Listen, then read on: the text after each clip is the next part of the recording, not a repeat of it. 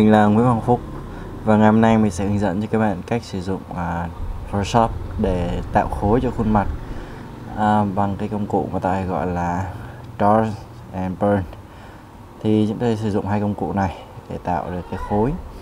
Tuy nhiên là uh, không đơn giản chúng ta chỉ cầm hai cái công cụ này và tô tô quẹt quẹt cho trước giờ chúng ta vẫn làm. Uh, đối với những cái bước đầu uh, các bạn đang bắt đầu làm quen với Photoshop chẳng hạn thì uh, vì các bạn làm trực tiếp trên này. Không có gì sai tất nhiên không có gì sai. À, vì đó đó là cách làm cho các bạn quen với công cụ. Tuy nhiên là ngày hôm nay mình sẽ hướng dẫn các bạn làm sao để tùy vào từng cái khuôn mặt tùy vào từng cái à, cái điều kiện ánh sáng của chúng ta dot and burn sao cho nó hợp lý. Thì cái công cụ dot and burn này thì trong makeup ta gọi là shading và highlight setting thì giống như là burn. À, và dark thì nó sẽ là highlight. Đơn giản nó làm sáng làm tối như vậy thôi. Không không có gì gọi là rắc rối. Rồi đầu tiên đây là cái hình.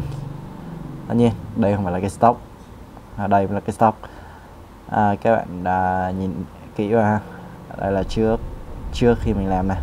Sau trước sau. Trước sau chưa sao? Rồi thử coi nó có gì khác biệt? Mũi ha. Cái viền trên môi ha. Phần cằm này phần cằm. À, phần má và phần mắt. Một số hình này có phần chén nữa. Nhưng mà đây thì không. Thì ngoài cái phần trên mặt đó ra còn tóc này tay này đó và một ít ở đây nữa. Rồi. Thì ngày hôm nay mình sẽ hướng dẫn cho các bạn làm sao để sử dụng và tạo được cái kết quả nó tương tự như thế này. Thì đầu tiên à, trước khi bắt đầu và làm cái này thì chính bản thân mình cũng phải đi tìm một người giỏi về make up và hướng dẫn mình à, cái cách à, make up khuôn mặt ở ngoài đời thật thì từ đấy bắt đầu mình thông qua thông qua cái việc đó và mình bắt đầu áp dụng vào Photoshop. Và năm nay mình có kết quả như thế này mình sẽ chia sẻ với các bạn. Thì à, tạm tạo một cái thế này trước ha. Đối với khuôn mặt bình thường nó có rất là nhiều kiểu. À, mặt tròn mặt oval mặt dài rồi đủ kiểu hết. Tuy nhiên có một số cái khuôn mặt à, dễ gặp như là mặt tròn ha à, à mặt dài nè. À, mặt vuông. Đại khái thế. Ba cái dạng mặt này là hay hay gặp nhất. À, oval bình thường nữa. Cái bình thường này thì cũng không có gì để nói. Nhưng mình sẽ bắt đầu với cái bình thường trước ha thì đối với cái bình thường cái mặt các bạn có có thể thấy. Là lúc nào cái người mẫu chúng ta cũng có cái khu vực má này thì hầu hết lúc nào cũng vậy người ta cũng đánh cái phần này. Nó tương đối sậm lại để mà nó tôn lên cái gò má và làm cho cái khuôn mặt nó, nó thon gọn thanh tú hơn. Thì ở cái khuôn mặt bình thường cũng vậy ở khu vực này mình sẽ setting. Làm cho nó tối xuống tối xuống. Đại khái thế à, vùng má ấy, vùng chén nè à, mắt vùng khóe môi vùng mũi để tăng cái độ à, cao mũi lên. Ví dụ như ở đây có thể thấy nó hơi phẳng một chút xíu. Mình cứ highlight vào vùng sông mũi nè. Highlight vùng sông mũi và shading vào hai bên và nó sẽ làm cho cái khuôn mặt nó trở nên à, làm cho cái hiệu ứng cái mũi nó giống như kiểu cao hơn. Rồi tới à, mặt vuông.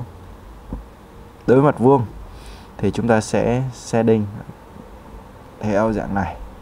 Tức là làm tối đi ở cái dạng này làm tối đi ở hai cái góc. Mục đích là để làm cho cái khuôn mặt chúng ta nó gọn lại hai cái vùng má nó gọn lại. Tương tự với hai phát trên này. Mặt mũi thì y chang bên này ha. Rồi tới mặt tròn. Mặt tròn thì chúng ta sẽ phải làm như sau. Tương tự với lại mặt uh, cái này là gần như là chuẩn ha ta sẽ đánh tương tự setting hai phần này. Là burn nó burn nó làm tối nó đi á. Tối nó đi. Và phần dưới cằm này, mình sẽ làm cho nó sáng lên. Mục đích là để kéo dài khuôn mặt nó ra. Nó tạo cho chúng ta cái cảm giác làm dài ra, cái khuôn mặt nó dài thêm ra. Còn ở mặt dài, khuôn mặt như thế này chẳng hạn, thì cũng đánh như thế này bình thường nói chung là không thay đổi gì. Khuôn cái mắt mũi à, miệng các thứ. À, nhưng mà ở đây phần trên này mình sẽ shading. Tức là mình burn nó đậm xuống. Tiếp theo là vùng cằm mình cũng burn cho nó đậm xuống. Ví dụ như ở đây. Các có thể thấy cái khuôn mặt nó tương đối dài một chút xíu và mình à, đẩy nhẹ lên đẩy nhẹ lên. Và chúng ta có cảm giác như là nó gọn bớt lại không có bị bè xuống phía dưới. Đánh góc thế này ha. Đó đây một số cái hiệu ứng.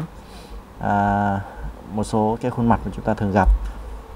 Tuy nhiên là vào trong ảnh chân dung mình nó cũng có gặp một số khuôn mặt khác. Ví dụ như ở đây một cái góc mình không thể nào biết được. Nó nó là hình tròn oval trái tim hay thế nào cả. Chỉ đơn giản chúng ta xuôi.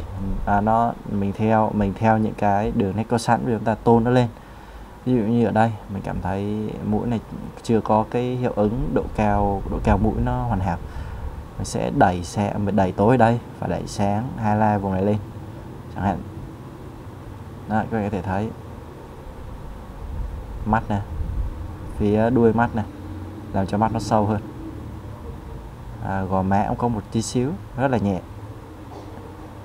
Và vùng à, môi vùng khóe miệng à, khóe khóe môi này đó, nó làm cho cái cái cái cái cảm giác của chúng ta về cái độ sâu. Nó làm cho khuôn mặt nó thanh tú hơn nó hấp dẫn hơn.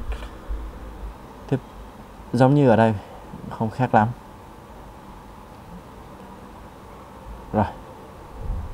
Về những cái bình thường như thế này thì cũng không có gì để nói. Chúng ta cũng cứ tập trung vào cái này thôi. Và mình sẽ à, cố gắng làm sao để các bạn áp, có thể áp dụng được cho những cái bức ảnh chụp uh, tin của các bạn chụp tin số phong chẳng hạn chụp chân dung chụp kỷ niệm cho bạn gái chẳng hạn thế. Ok. À, đây là những cái bước mình sẽ làm. Và ta phải xóa đi. Rồi. Bắt đầu là chúng ta sẽ làm những cái bước gọi là kinh điển đó là Ctrl J nhân đôi cái background lên. Không để làm gì đâu cứ làm thế cho nó quen tay. Sau này rồi sẽ có sẽ có lúc nó có tác dụng thôi. Đấy, tiếp tục. Chúng ta sẽ tạo một cái lớp phấn nền. Gọi tạm gọi là một cái lớp phấn nền nhưng mà thực chất là một cái cách à, làm tăng cái à, dodge and burn à, tổng thể. Có thể gọi như vậy. Rồi các bạn chọn vào cái layer copy hoặc là background ha. Chuyển qua channel. Cứ để nó chọn hết như thế này. Cứ để chọn hết tất cả mấy kênh này ha. Tất cả kênh luôn đè phím control và click vào kênh RGB thì ở đây nó sẽ khoanh vùng cho các bạn những cái vùng sáng. Để khoanh vùng sáng ha. Rồi các bạn vào. À, đâu rồi? Layer new. Layer via copy hoặc là Control J. Thường làm Control J lên. Nó sẽ tạo ra một cái layer mới thì đây là cái laser vùng sáng. Thì ở cái laser này, mình sẽ tạo nó là screen. Rồi, tiếp tục lại chọn vào cái layer góc ha. Đè phím Ctrl click vào RGB và đây các bạn bấm Ctrl Shift Y nó sẽ đảo ngược lại. Đây các bạn có thể thấy nó sẽ đảo ngược lại, nó sẽ chọn những cái vùng tối. Rồi, tương tự Ctrl J nhanh lên nó sẽ ra cái vùng tối này. Và ở đây mình sẽ đặt tên nó là multiply chỉ để cho dễ nhớ thôi hiệu multiply đặt multiply screen. Chuyển sang screen. Rồi, ở đây ta thấy nó mạnh quá, giảm bớt nó đi.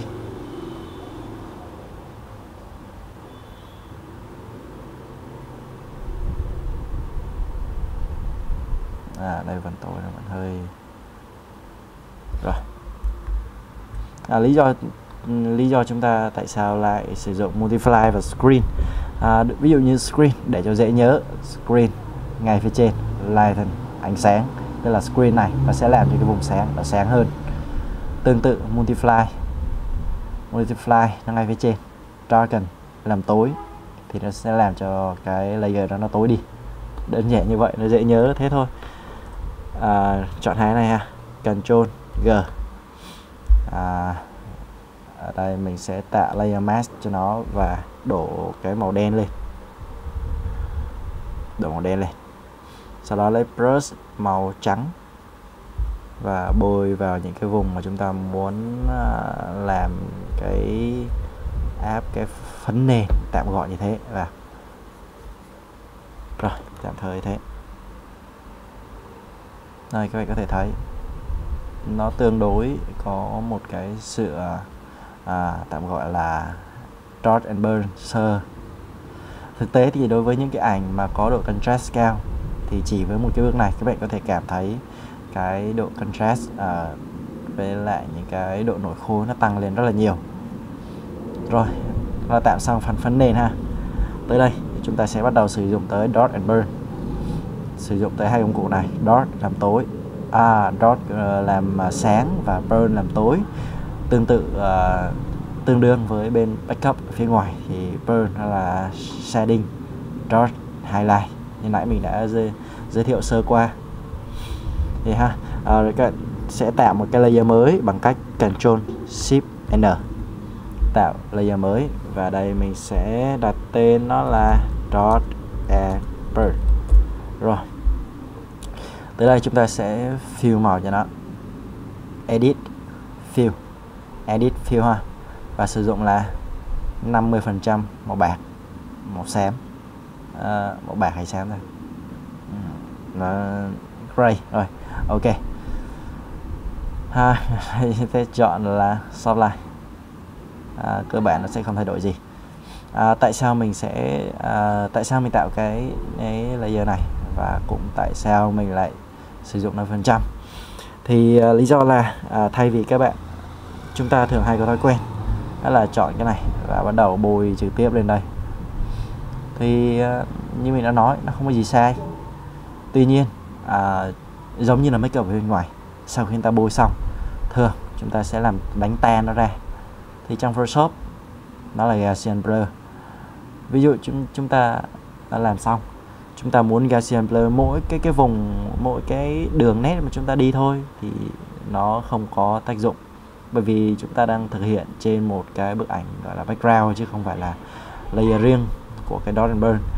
Do đó là chúng ta sẽ tạo một cái layer mới sử dụng dot and burn. À, như chúng ta đã như chúng ta đã biết dot and burn cái vùng cái công cụ dot nó sẽ làm sáng lên. Công cụ burn làm tối đi. Tại sao mình sử dụng màu xám? 50% lý do là khi chúng ta sử dụng ví dụ như ta đổ màu trắng lên đây đi thay vì không phải màu xám mà chúng ta đổ màu trắng lên. À, chúng ta sử dụng à, công cụ à, dot thì làm sáng lên. Nó đã trắng rồi thì nó làm sáng lên kiểu gì được nữa. Hoặc là chúng ta đổ màu đen ở đây mà chúng ta sử dụng burn. Thì layer ra màu đen thì chúng ta còn làm đen kiểu gì được nữa. Cho nên sử dụng chúng ta sẽ sử dụng màu xám ở đây. Có thể thấy màu xám nó có thể di chuyển lên di chuyển xuống. Màu trắng thì nó không thể nào làm highlight hơn được nữa màu đen thì không thể làm shading được nữa. Nên sử dụng 50 phần trăm. Thì đó là lý do. Rồi hay ca. Rồi xong cái phần này. À, chúng ta sẽ làm lại này. Ctrl Shift N. Ok edit. Fill. 50% gray và để sang shop lại rồi. Tới đây mình sẽ sử dụng công cụ dot and burn. Là burn trước ha. À, set cái brush. À, các bạn có thể à, nếu các bạn có à, uh, Wacom hay là nói chung là bút vẽ mình có thể sử dụng cái này. Hoặc là chúng ta chỉ cần uh, transfer để mà nó hơi mờ những cái đầu. Khi chúng ta đi đường nét nó mềm mại và nó uyển chuyển hơn như mình mình đang sử dụng Wacom mình sẽ để cái này. Rồi. Tới đây chúng ta sẽ bắt đầu à, đi những cái đường nét à, mà chúng ta công việc chính. Burn ha. Rồi. Tới đây chúng ta sẽ check vào protect tones bởi vì khi mà chúng ta không không làm này thì khi chúng ta burn thì đơn giản nó làm tối cái vùng nó đi còn khi chúng ta protect tông thì nó sẽ sử dụng cái màu có sẵn ở khu vực đấy để làm tối sậm cái màu đó đi. Thì nhìn nó sẽ à, thực hơn. Rồi trở lại.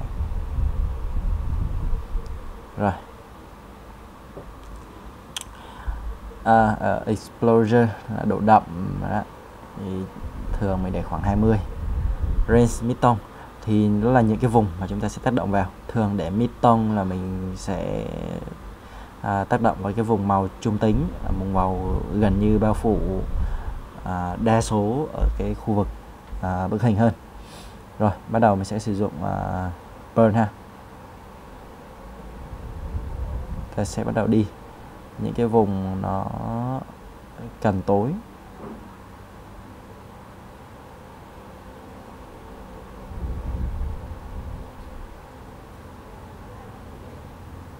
À máy chậm rồi.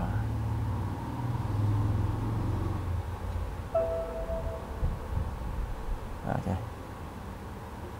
Đấy, các bạn có thể thấy trước và sau khi chúng ta làm.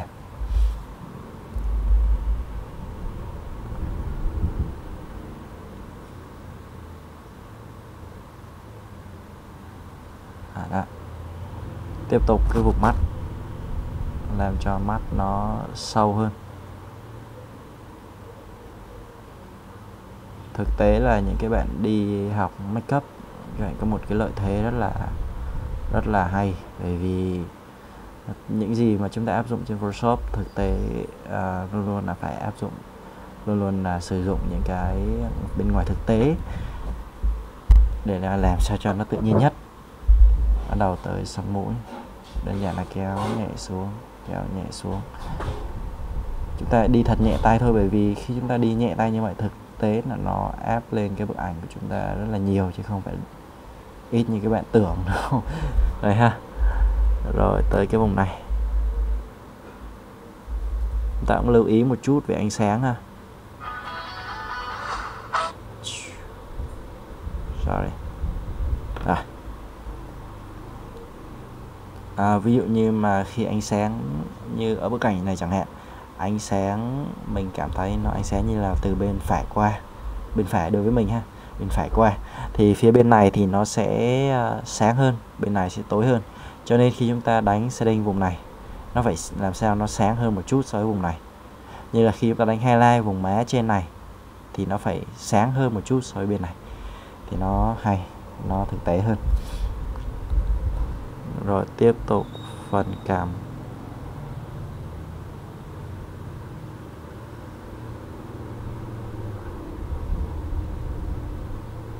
như mình đã nói lúc đầu mình đánh cái phần cằm này lên để mà nó trông nó thon nó gọn cái mặt lại không nó dài không để nó hơi quá dài.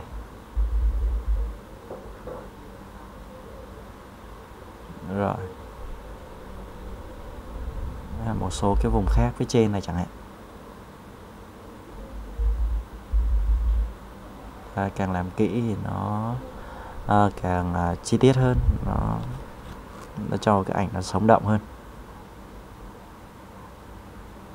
Đối với một số trường hợp nó nhìn nó sẽ còn mang cái kịch tính cao. Ví dụ như là thay vì chúng ta không sử dụng cho ảnh à, chân dung mà chúng ta sử dụng cho ảnh phong cảnh chẳng hạn nó làm cho bức ảnh nó trông kịch tính hơn nó nó sẽ hay hơn.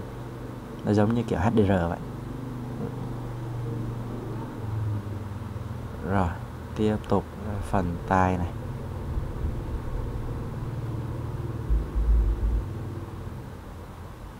Ở đây mình làm tương đối ẩu cho nên các bạn có ý em, chúng ta nghiên cứu và làm kỹ hơn một chút xíu. Rồi. Đó là xong phần setting. Tiếp theo là phần highlight. Dot target tool ha. Rồi đây mình sẽ highlight một số vùng. Ví dụ như sóng mũi.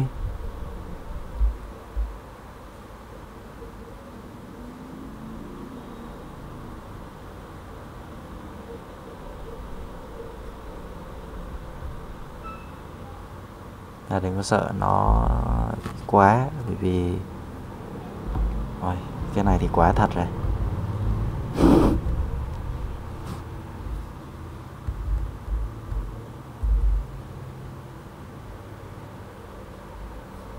Yên tâm bởi vì mình sẽ còn một cái bước nữa phía sau đó là, là Gaussian Gaussian blur. Và nó sẽ làm cho cái hình nó trông nó nuột hơn chứ nó không có bị giả tạo. Là cứ việc đánh thoải mái. Cố gắng nhẹ tay chút xíu đừng có để nó quá lố là được rồi. Rồi tiếp tục tới phần mắt.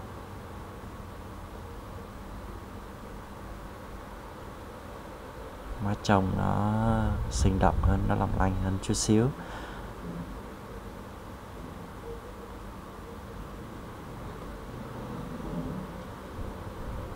À, các có thể thấy đây là kết quả chúng ta sẽ tạo được. Rồi tạm thời là có như vậy. Ta sẽ vào filter blur. Gaussian blur. Và blur cho nó đều ra. Rồi và đây là kết quả trước và sau khi chúng ta làm cái công đoạn đó. Từ đây có thể có thể làm thêm. À, ví dụ như đó đấy, mình quên vùng tay này chẳng hạn. Đánh thêm vào vùng tay chút xíu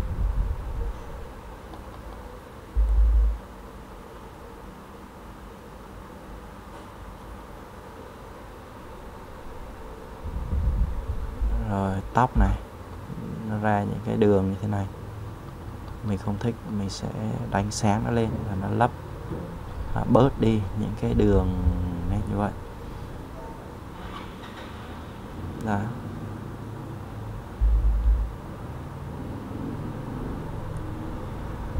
À tiếp tục. Chúng ta có thời gian để làm kỹ một chút xíu ha. Đặc biệt là với những cái bạn mà chúng ta à, sử dụng kỹ thuật này để à, làm à, cái ảnh à, beauty chẳng hạn. Thì các bạn sẽ đòi hỏi các bạn phải làm chi tiết. À, thực tế có một số bạn hỏi cái mình kỹ năng kỹ thuật nâng cao. Thì đối với mình mình thật sự nếu mà theo cái ý nghĩ chủ quan của mình thì nâng cao thực tế là những người sử dụng chuyên nghiệp. Thực tế người ta cũng sử dụng những công cụ y như mình thôi không khác gì. Chỉ có điều người ta chi ly hơn, đi vào chi tiết hơn. À hình như hồi nãy mình quên mất không highlight vùng má thì phải. Rồi, tiếp highlight vùng má. Dot. Và làm cho gò má nó cao lên một chút xíu. Đừng cao quá. Rồi.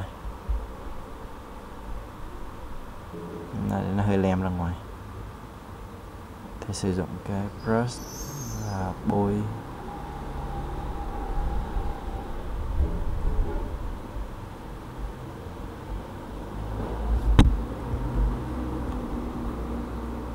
Dạ.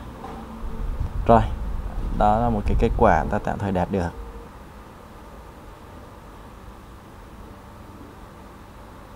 Sau khi làm xong, điều hiển nhiên giảm bớt nó đi, giảm bớt opacity đi. Tương tự với dưới này. Rồi, ta sẽ group chung nó lại, chọn hai cái Ctrl G. Và đây là kết quả cuối cùng mà chúng ta đã đạt được sau khi sử dụng Dot and Burn tương tự với những cái dạng mặt mà mình đã nói ngay từ đầu các bạn có thể áp dụng tùy cho từng khuôn mặt từng cái cách đánh riêng để tạo được điều chỉnh lại cái hiệu ứng khuôn mặt sao cho nó nhìn nó hợp mắt nhìn cho nó đẹp mắt hơn thì à, đơn giản nó chỉ có như thế chỉ có như vậy thôi. À, chúc các bạn may mắn và làm được ra những cái kết quả tốt nhất. À, nếu các bạn có thể vui lòng like và subscribe cho mình để ủng hộ mình à, xin cảm ơn.